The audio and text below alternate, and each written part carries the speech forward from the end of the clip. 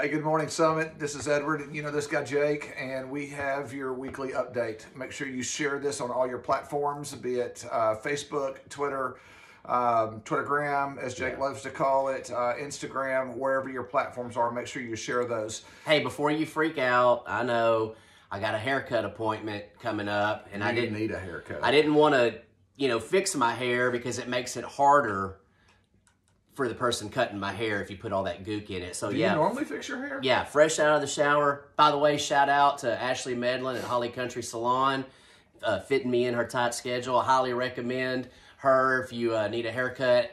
Tell her Jake sent you and ask for the scalp Hey. burning conversation special. Can she do anything with this? Yeah, Like a hair weave or something like that? ah, she's awesome, Maybe. man. Yeah. She could do something with that beard too. It's pretty. This beard is epic. Nappy. It's epic. It's- hey, don't talk about nappy beards. All right, what do we got for him? Um, hey, we want to remind you we're coming to the end of the year. Um, it's you know Christmas is coming up a week from Tomorrow. Tomorrow, that's right.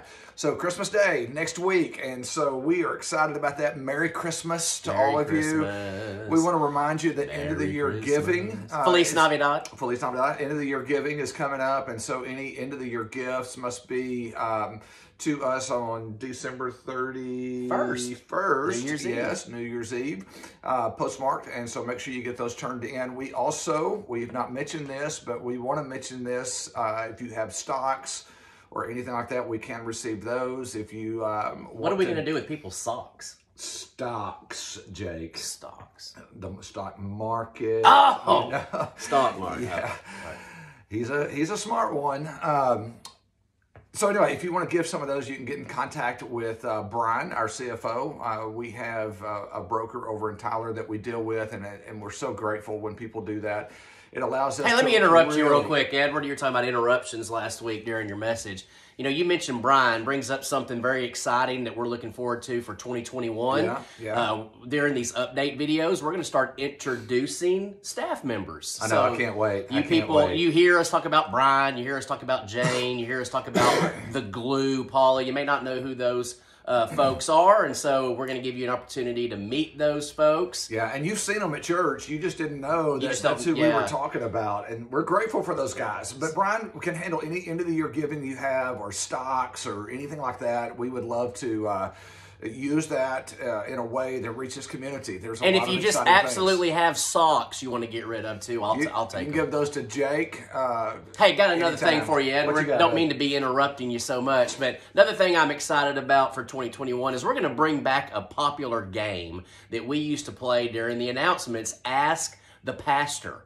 Remember when I used to do that on those communication cards, Ask the Pastor? Because a lot of our people have questions, Edward, that we don't really deal with on Sunday. You know, like did Adam and Eve have belly buttons? Why aren't dinosaurs mentioned in the Bible? I think one of the big questions that has gone unanswered for years was whose wedding was Jesus attending when he turned the water into wine? I mean, nobody nobody knows. Nobody's ever really delved into that. So if you have questions like that, we'll answer them on these update videos. Send me the questions at jake at summitheightsfellowship.com and we'll present the pastor with one of those questions and he'll give you a theological answer. How about that? they may not like them. Well, you know what, Edward? It just so happens that I already have a question that's come in. And so for Ask the Pastor, this question comes via J- uh, Jack Con- Kanye. So Jack Kanye asks this, and it's in multiple choice form.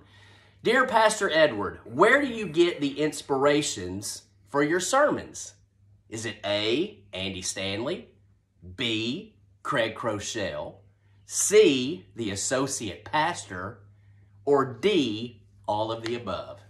Well, Jake, that's an interesting question. I get that on a regular basis, and I'm going to be real honest with you. None of those answers are correct. So it's D. I have a really close friend that we've been on staff together for 16 years. Oh, yeah. And I've watched his journey, and I just watch him and look at the things going on in his life. It gives me plenty of preaching material just to watch what he does. You may know him. His name is Jake Connor. Um, it sounds very familiar, that name that got sent that question is, but I just look at your life, dude. I see all the stuff you're doing, Yeah. and, and it gives me all the inspiration I need. Man. And so it's, I appreciate you uh, giving me inspiration. Emulate like me, not Christ. Um, yeah, no, I just look at your life. So Oh. I, again, I'm wanting you to emulate Christ, but I just I have enough material from watching you that I can preach those. Okay, Would that cool. be the associate pastor answer?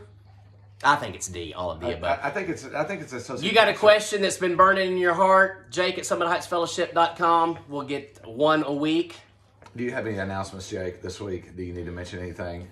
I personally think Jesus was going to one of Joseph's family members' wedding, and Mary wanted to show off to Joseph's family, so he she got Jesus to do one of those trick miracle And we want to remind you we are not doing a Christmas Eve service this year. Uh, elders voted that for the first time in nine years, we're not going to be doing that. Our staff and volunteers are going to spend that day with their family.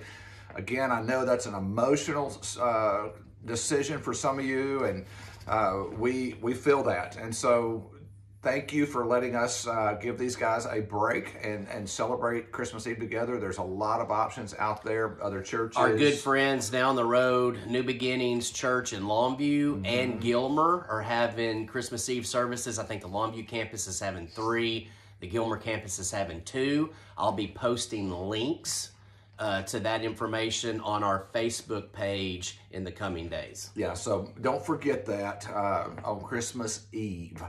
Uh, Jake, you got anything else today? Man, I'm good. I'm excited about Ask the Pastor and about meeting staff members. And uh, man, I'm just excited. 2021 is going to be great. I'm excited about getting my hair cut. Uh, you need it. so Yeah, you need you need it. just love everybody, man. I woke up this morning, was reading in my quiet time in my favorite book, Philippians, Philippians. and I'm just so thankful for Summit, so thankful for the staff, thankful for you guys that uh, are giving, that are serving during this difficult time, and so Merry Christmas, Amen. blessings, blessings, blessings. Hey, we love you. Cannot wait to see you Sunday. One more Sunday before Christmas, and then one more Sunday in this year, and then we'll be in 2021. And so let's finish well, Summit. Let's continue to give and be faithful. Uh, still have needs to be met in this community that uh, we're working with Love One and meeting those needs. So your giving makes a difference this season. Uh, you want to be Jesus with flesh on? That's one way we can do that. Is all those people that keep coming in uh, every week with needs. So we love you. Have a great weekend, and we can't wait to see you Sunday at either nine o'clock or eleven o'clock. So Jake, go get a haircut.